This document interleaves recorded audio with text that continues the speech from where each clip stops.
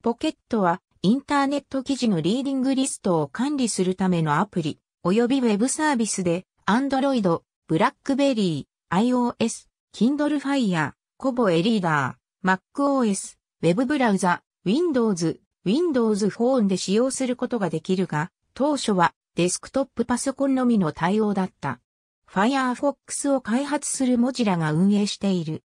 本サービスはユーザーが後読みしたい記事やウェブページをリモートサーバーへ保存すると、ユーザーが本サービスで使用する全デバイスに同期するポケットリストに追加され、液読み性向上のための広告除去、タグ付け、テキスト設定などの機能を有す。2007年8月に Firefox の拡張機能として提供が開始された。当初はネイサン・ワイナー・ワイナーが命名したリード・イット・レーターと称された。ユーザー数が100万人に達した頃に、事務所をシリコンバレーに移転し、後に4人が開発チームに加わった。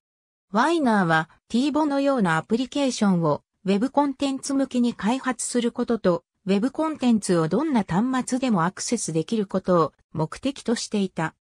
2011年にベンチャーキャピタルから250万ドル、2012年に500万ドル、その他に複数の匿名エンジェル投資家、 Foundation Capital、Baseline Ventures、Google Ventures、Founder Collective から投資を受けた。エバーノートからの買収提案はエバーノートが Read It Later を合併の上でサービスを終了し、機能をエバーノートのメイン機能に組み込む計画があったことから拒否している。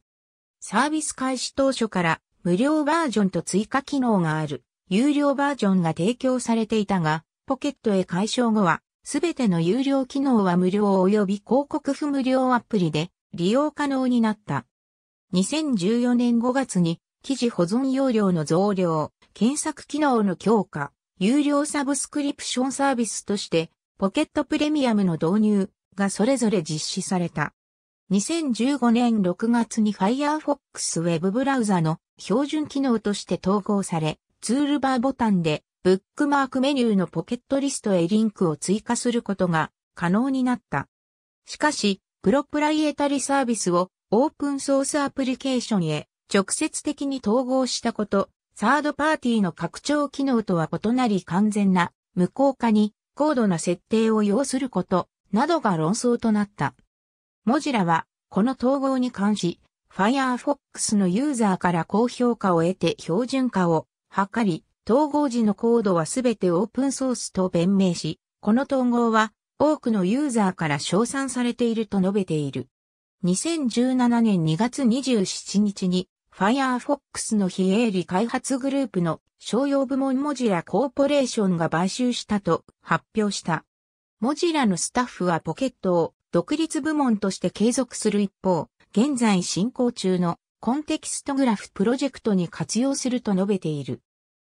2015年9月時点でユーザー数は1700万人、保存記事数も1億に達したとしている。フリップボード、Google カレンツ、Twitter などいくつかのアプリケーションはポケットの API を使用している。2013年にタイム誌の50ベスト Android アプリケーションズに選出されている。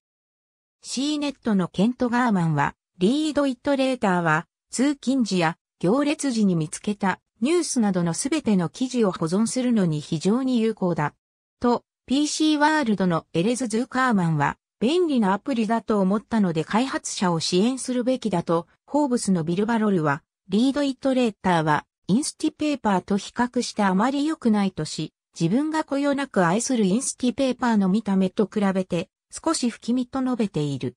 2015年、Android アプリケーションが Google の Material Design Award for Adaptive Layout を受賞した。ありがとうございます。